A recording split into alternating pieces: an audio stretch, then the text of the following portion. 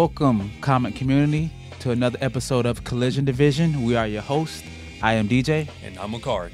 And today we were in the studio and we were just, you know, messing around and we felt like this is a must need topic. And this is our top three um, best 90s sitcoms. And believe you me, there's there's gonna be a ton of sitcoms we're gonna miss. Yep. Listen, this, this is an opinionated subject. Everybody has their own opinion about their top three. That's why we would like you to comment down at the bottom. You know, subscribe, like, tell us your top three because there's no way we're gonna hit every single Oh my God, there thing was that came out in the '90s. Like, there was just- so many to- there were so many sitcoms and like 90s babies. We 90s was the golden era of television. I mean, these kids these days are, are really don't know what they're missing because this is the best of the best. Like 90s was True. the best of the best. that, that is true. Well, we'll jump straight into it. Um, from three to one. Uh, number three, I have Saved by the Bell. Of course, everybody knows what it's like to have a bunch of friends and you go through high school. You know, you may you have the popular kid, of course. Yeah, there's always a popular kid. You know, Zach Morris, popular girl, Kelly Kapowski, smart girl, Jesse Spano Yep. you know, the jock AC Slater, the dork Screech. Um, you know, a lot of those characters changed Yeah. throughout, you know, different seasons. I know Tori was there. Um, and then uh, Kelly came back. Um, it's just that Saved by the Bell, which was on air for 1989 to 1998, was that's what you looked up to as high school. That's what you thought was going to happen in That high school yeah, that was the closest thing to high school. like just Zach going from girl to girl. I mean, what Yeah. what what guy didn't Every guy wanted to didn't want to be Zach? you know, you know, Screech. at the end of the day, you know, he, he's a good friend. What, what what else can you say about Screech? He's he's a smart guy, great friend. Kelly, the All American girl. I don't know any guy, you know, that didn't have a crush on Kelly Kapowski, or Jesse at that. There's nothing wrong with a, a smart, tall girl. I mean, she, she was gorgeous. Um, Lisa, the fashion expertise, you know, she was another um, one who pretty much was a pretty pretty high ranking in, at the high school. I'd say she was popular. I would like to think she was popular. Um, but again, you know, Saved by the Bell, you know, they went through trials and tribulations together. They end up becoming, you know, the best of friends. Then they even followed them a little bit when they went to college. So for me, Saved by the Bell is my number three. My number two, I, I couldn't really pick a number two. I have two in the number two spot, if that makes any sense at all. Um, So like a tie. It's a tie, right? Oh, right, right, okay. It's a okay, so tie. it's a tie. tie. So, Fresh Prince of Bel Air and Martin. I mean, I listen, listen. My my thought process is is like this. okay. Martin would beat Will Smith's ass. Like Martin would beat beat up Will Smith. I feel. But but Okay, okay, go ahead. when it came down to the girls, Will Smith had it hands down. Will Smith had a hands down. Will Smith Well, had of course, because Martin had Gina, and that I, was I, it. I understand that. I understand that. But Will went to Lisa more towards, you know, the end of the Fresh Prince of Bel Air.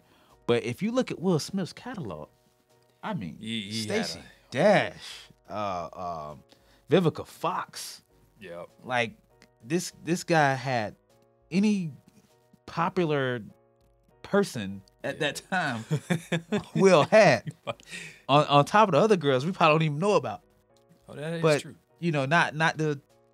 That's a big part of why I chose Will Smith. But Even Carlton had a few girls too. Carlton had a few stallions. Yes, Even even Carlton. Carlton had a few stallions. I mean, just the the whole vibe of the show, family, um, being there for one, e- being there for one, e- um, one another. Um, I, I just thought that Fresh Prince was the epitome of what you wanted as a family. You know that yeah, they were rich. He came from a poor family, but you know it it, was a great television show. Martin, I thought was more funnier than Fresh Prince of Bel Air. Uh, Martin was was more of a character than Will Smith, uh, which is hence why they made Bad Boys together because they work Oh, so well together. yeah, but yeah, yeah, you know, I, I can't say Fresh Prince was better than Martin. I can't say Martin was better than Fresh Prince. I think equal. They both were really good television shows. And number one, Boy Meets World, from 1993 to 2000. Listen, let me tell you something. Okay. Okay. Let me tell you something. This show, anything you, you needed to know about life, all you had to do was watch Boy Meets World. I guarantee there was an episode that related to what you were going through. I, I, me personally, I couldn't get into it. I, Um, what? No, I'm sorry. You- Boy, Boy Meets World was not that show for me. And didn't Disney do a spinoff?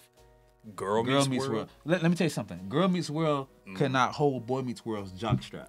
I'm, I'm Girl pretty sure they can. World, Girl Meets World was terrible. Terrible yeah, considered con- yeah, opposed to Boy Meets World.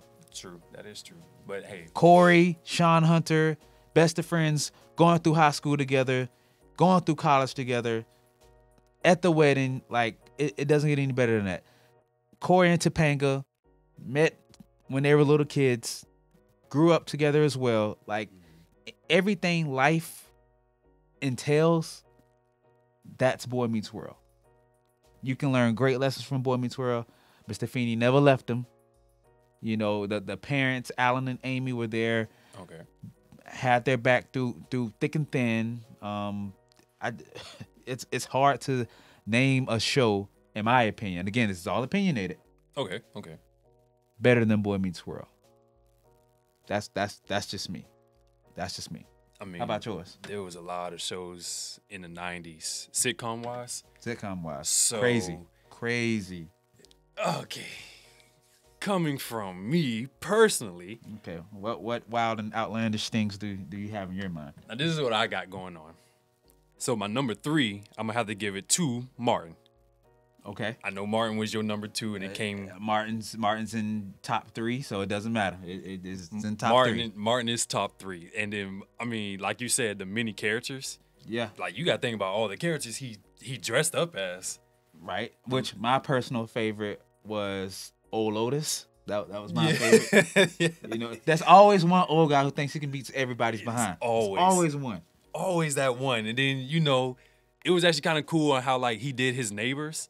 Cause you know you had Pam and then you had bruh man. Come on, bruh man. bruh man was my favorite character out of all of them. But I'm gonna definitely have to give it to Martin for top three. He would be number three. Okay. Now my number two would actually have to go to In Living Color. Okay. I, I see. Yep. Yep. Hey, me me personally, I like comedy. Listen, I have no disagreement with with, with In Living Color. In Living Color was awesome. in Living Color, like Jamie Foxx, uh, Jim Carrey, the Wayans Bros. In Living Color was that like the skits that they came up with, Yeah.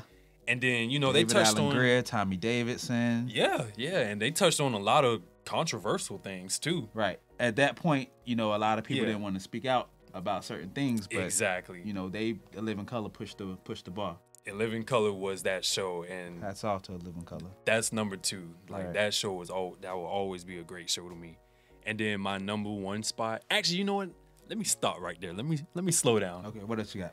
My honorable mention. Oh, the honorable mentions. before I get to my number one. My honorable mention would have to go to the Mighty Morphin Power Rangers.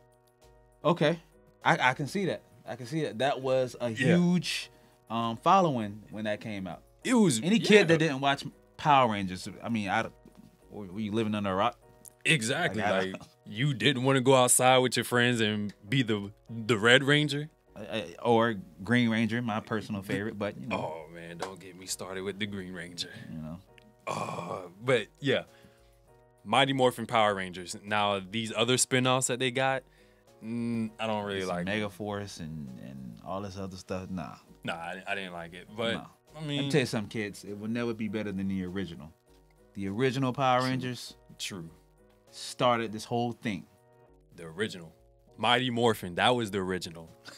what everybody else might tell you, no. No, that, that's Mighty Morphin. Mighty Morphin Power Rangers. Exactly. Yes. So Mighty, yep. Jason, Kim, hmm Billy, Zach, Tommy. Period. That's all you need to know. Mighty Morphin Power Rangers. Now, my number one sitcom in the 90s will have to go to Seinfeld. Okay. T- listen, Seinfeld was ahead of his time. It was a show Sein- ahead of its yes. time. Yes, it was. Like Seinfeld had the jokes, they delivered, and then Absolutely. the setup. No soup for you. No soup for you. the, the soup Nazi. like the jokes. Like if you watch one episode, it doesn't matter what episode it is. If you just watch it and then watch how they set up the jokes, and it's just like what you you wouldn't even think it went that far.